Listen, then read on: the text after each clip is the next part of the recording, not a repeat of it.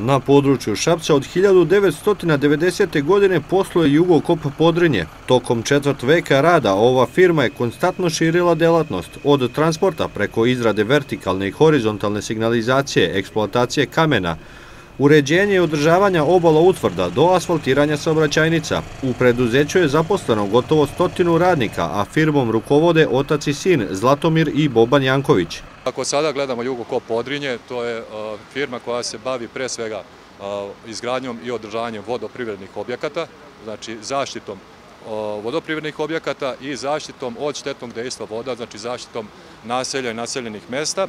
Drugi sektor poslovanja jeste izgradnja i održavanje puteva, kako letnje, tako i zimsko održavanje puteva i pored toga imamo znači kamenolog gdje se bavimo eksploatacijom kamena koji je namenjen za zaštitu vodoprirodnih objekata za izgradnju puteva, a još jedan sektor koji je u sastavu i radove koje sada ovdje vidimo jesu radovi na samoj izgradnju, odnosno izvođenju asfalterskih radova. Za razliku od nekih drugih firmi, gradonačelnik Šapca je radnike i upravljače ovog preduzeća posjetio na terenu. Jugo Kop Podrinje trenutno je angažovan na uređenju trga šabačkih žrtava i rekonstrukciji ulice Cara Dušana. Dobro je da poslove u Šapcu rade šabačke firme. Imamo dosta dobrih šabačkih firmi ovdje kod nas, između ostalih i firmu Jugo Podrinje, koja je umeđu vremenu proširila svoje poslovne kapacitete, koja je ušla u jednu veliku investiciju, kupovinu jednog drugog važnog putarskog preduzeća u Srbiji i na taj način poslala dobar signal da je sposobna da radi, da privređuje u najboljem interesu i firme, ali i građana Šapca. To mene naročito raduje kao gradonačelnika i danas ćemo upravo pričati o tome kako da dalje nastavimo dobru saradnju i šta su budući važni poslovi koje će raditi ova firma i u Šapcu, a evo koliko čujem i ovaj, u čitom tokom duž cele Srbije.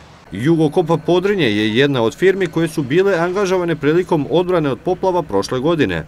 Državne dugove za te poslove isplatio im je grad, koji i dalje čeka na transfer novca iz republičkog budžeta. Pare od države, nažalost, još nismo dobili. Ja očekujem da će se to desiti, međutim mi nikakve nove vesti nemamo od strane državnih organa. Svakog dana tražimo taj novac, međutim on ne stiže e, u grad Šabac. Rukovodstvo Jugokop Podrinja uskoro kreće i u nove poslove. Nedavno su privatizovali firmu Srbija Autoput iz Beograda, koja je zadužena za održavanje autoputa od Dobanovaca do makedonske granice, zašto imaju potpisane ugovore sa putevima Srbije. Uz to posjeduju i odgovarajuće licence i sertifikate koji potvrđuju da je Jugokop Podrinje jedna od najozbiljnijih srpskih firmi u ovoj oblasti.